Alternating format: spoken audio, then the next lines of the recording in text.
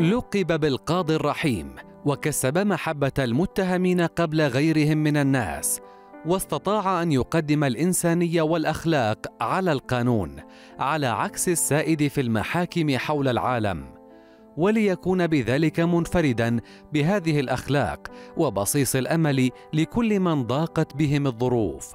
إنه فرانك كابريو أو فرانشيسكو كابريو وهو قاض ومحام أمريكي ولد عام 1936 وعمل رئيس قضاة محكمة بلدية بروفيدنس في ولاية رود آيلاند بالولايات المتحدة الأمريكية منذ عام 1985 كما شغل أيضا منصب رئيس مجلس محافظي رود آيلاند للتعليم العالي لمدة عشر سنوات. Oh, am I? Am I all good? Something wrong? Good. Dr. Quinn, am I sick? I don't know. You look pretty good to me. I don't know what Emma's saying. اكتسب القاضي كابريو في السنوات الأخيرة شهرة عالمية بعد انتشار مقاطع فيديو له على مواقع التواصل الاجتماعي تظهره في محاكمات أغلبها لمهاجرين ومسلمين وغير مسلمين تميزت بالرأفة والرحمة والتماس العذر للمتهمين مع حضور روح النكتة في جلساته. حتى لقب بالقاضي الرحيم لمواقفه الإنسانية وانحيازه للضعفاء والمظلومين. خلال عمل كابريو قاضيا في محكمة بلدية بروفيدنس لاقت جلسات المحاكمة التي يترأسها شهرة عالمية بفضل رحمته ورأفته بالضعفاء والمظلومين. اكتسب في السنوات الأخيرة شهرة عالمية بعد ظهوره في البرنامج التلفزيوني Caught in Providence الذي ينتجه شقيقه جو كابريو والذي تم ترشيحه لجائزة Daytime Emmy سنة 2021 وتحصد مقاطع الفيديو لجلسات الاستماع التي يرأسها كابريو في قاعات محكمة مدينة بروفيدنس ملايين المشاهدات الممزوجة بالعواطف والتعبير الإنساني على الشبكات الاجتماعية. وذلك بسبب تعامله الرحيم مع المتهمين الذين تدفعهم ظروفهم الاجتماعية الصعبة إلى ارتكاب بعض المخالفات.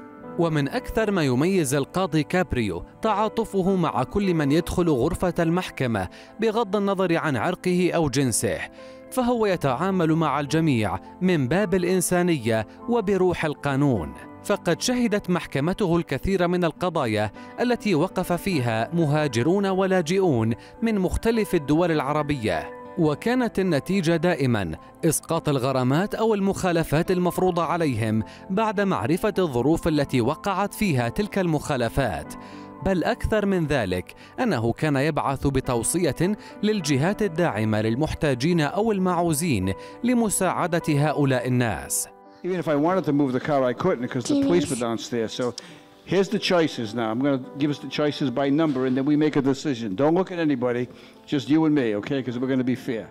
ومن المواقف الطريفة للقاضي كابريو التقاءه بمحبوبته السابقة والتي عملها بكل محبة وود بعد سنوات من الغياب ممازحا إياها بالكشف عن سر تلك العلاقة التي كانت تجمعهم فيما مضى أمام الجميع وفي النهاية أسقط عنها الغرامة وسط أجواء من الإنسانية والمحبة. وعن سبب تعامله بهذه الرأفة والرحمة يقول أؤمن أنني يجب أن أضع في اعتباري أن الشخص ربما يكون مريضا أو فقد أحد والديه وأن أطفالهم يتضورون جوعا. أنا لا أضع شارة أسفل الروب بل قلبا. ورث كابريو هذا العطف وهذه الرحمة من والده المهاجر الإيطالي الذي كان يبيع الحليب وعلى الرغم من ظروفه الاجتماعية المتواضعة كان يدفع فواتير فئة من زبائنه الذين لا يملكون ما يكفي لسداد ما بذمتهم.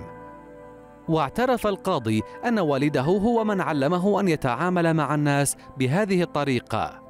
أسس فرانك كابريو صندوقا للمنح الدراسية لطلاب رود آيلاند المتفوقين الذين يطمحون إلى تحسين الولوج إلى الخدمات القانونية لا سيما في الأحياء الفقيرة. كما خصص منحا دراسية أخرى في كل من كلية بروفيدنس والمدرسة الثانوية المركزية في المدينة تكريما لوالديه. وعلى مستوى آخر حصل القاضي كابريو على درجة الدكتوراه الفخرية في القانون من كلية الحقوق بجامعة سوفولك في عام 1991 وكلية بروفيدنس عام 2008 وفي عام 2016 حصل أيضا على الدكتوراه الفخرية في الخدمة العامة من جامعة رود آيلاند. وقد أحيل على التقاعد في نهاية كانون الأول عام 2023 بعد حوالي 40 سنة من العمل في القضاء وبعد تفريجه كرب المئات من المتهمين والمتابعين.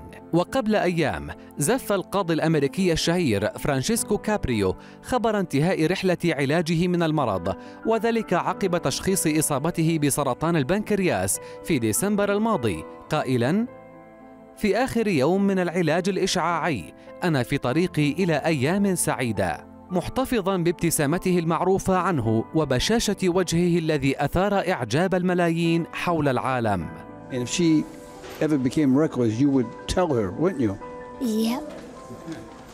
Well, I'm a, she's very impressive, this young girl. وأنت ما رأيك بالسيرة العملية لهذا القاضي؟